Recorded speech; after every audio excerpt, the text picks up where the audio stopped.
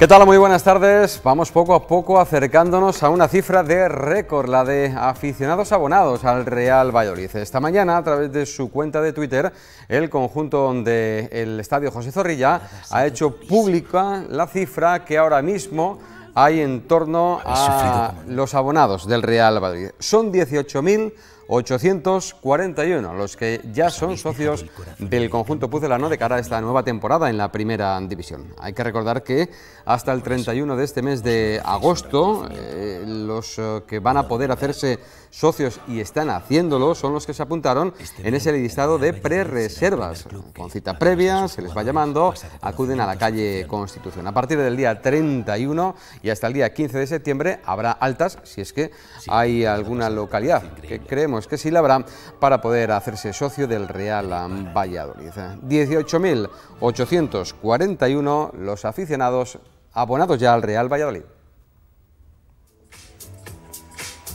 Hablando del Real Valladolid, esta tarde-noche en el restaurante El Boyo se va a desarrollar una nueva entrega de la gala de la Federación de Peñas del Real Valladolid. Está siendo un éxito en los últimos eh, años, en ella estarán el alcalde de la ciudad y también la totalidad de la plantilla, ahora mismo más los técnicos del conjunto vallisoletano. Más de 500 personas se van a dar eh, cita en el restaurante El Bohío para acudir a, a ese llamamiento de la Federación de Peñas.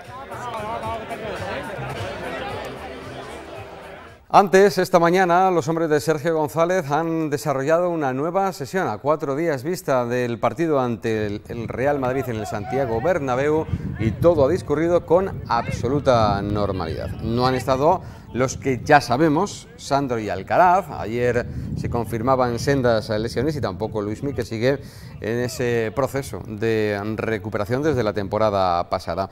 Mañana a partir de las nueve y media, puerta abierta para el entrenamiento, podremos ver algo más y posteriormente la rueda de prensa del técnico de Sergio González. Tras esa sesión de entrenamiento, el que ha estado con los medios de comunicación ha sido Kiko Olivas, eh, uno de los hombres que se ha quedado un tanto huérfano en el equipo por compañero de línea, una vez que se ha marchado Calero. Ahora se le busca un eh, hombre que pueda estar ahí en esa zona, en una zona en la que él está absolutamente afianzado. Kiko Olivas celebra hoy su 31 cumpleaños, así que además de felicitarle, le hemos encargado como regalo que marque un gol en el Bernabéu, pero que le acompañe la suerte para que sea en la portería correcta. Bueno, el mejor regalo ya no es marcar, es, ganar, es conseguir puntos allí en, el Bernabéu, porque bueno, es un campo muy complicado. Y ojalá que, volvamos a repetir el partido que hicimos el año pasado, pero con distintos resultados, porque creo que nos faltó, lógicamente nos faltó eso, y bueno, sería un gran regalo, la verdad. Bromas al margen, Olivas ya es uno de los veteranos del equipo y su opinión tiene peso en un vestuario que va convencido de tener opciones en Chamartín, así que el central tira de galones para reivindicar a su equipo. Siempre, yo creo que en todos los partidos hay opciones, eh, es verdad que ellos son un equipo muy potente y si dan su mejor versión lo vamos a tener muy complicado, pero nosotros venimos de ganar el campo del Betis, tampoco apostaba la gente por nosotros. El año pasado en el Bernabéu hicimos un gran partido, tampoco la gente creía que íbamos a poder hacerlo. La semana previa a visitar determinados estadios de la liga tiene un ambiente distinto al resto de jornadas.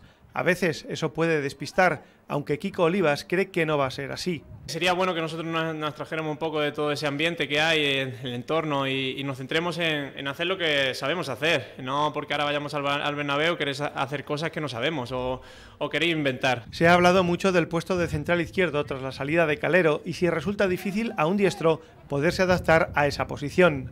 Eh, al final yo he jugado muchas veces por el lado izquierdo en mi vida y al final te habitúas a esa posición, pero sí es verdad que tu pierna dominante, tu pierna hábil, pues si sales por ahí eh, tienes muchas más salidas a la hora de estar apretado, a la hora de dificultades, tienes muchas mejores soluciones. Aún faltan dos sesiones de entrenamiento para tratar de descubrir los planes del técnico de cara a esta visita, así que a estas alturas no podemos asegurar quién será su pareja en el eje defensivo para el sábado, pero lo que sí parece claro es que él va a ser titular.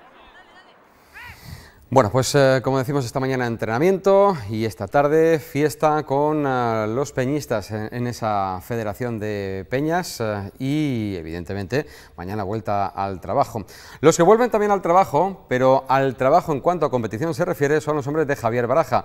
El Promesas debutan este sábado, lo hacen, recuerden, este domingo, perdón, lo hacen en el grupo 2, donde están ya los equipos de nuestra comunidad. El partido les medirá a Lizarra.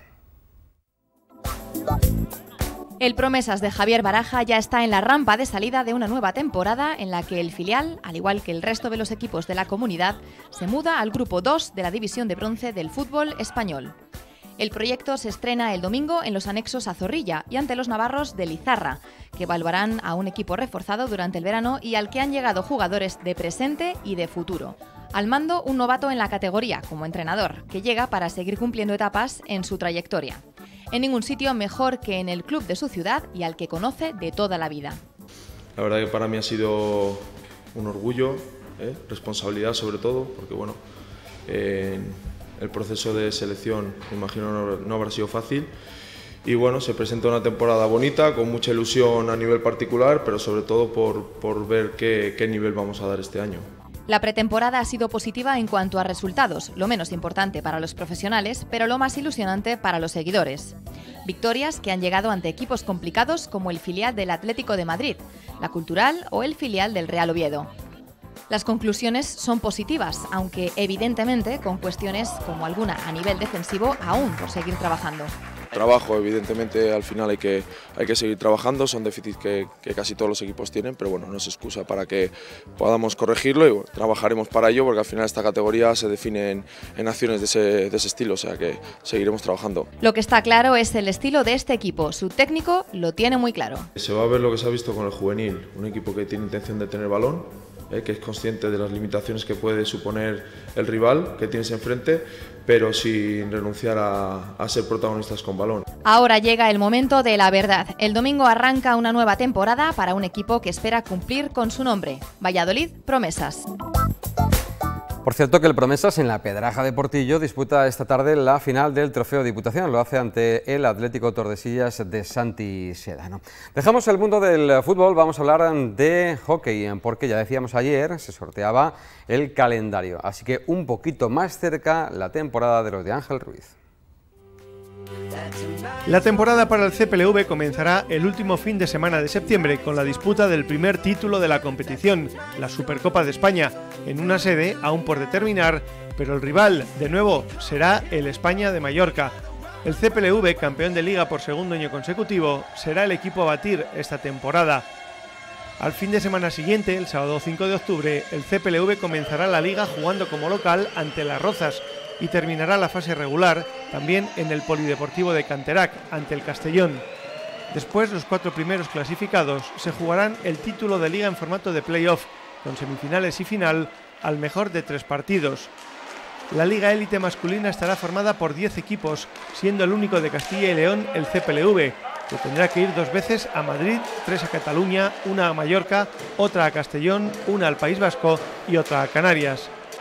El calendario comienza fuerte para los pucelanos, ya que el primer desplazamiento será la pista del Rubí catalán y en la tercera jornada recibirá al España en Canterac.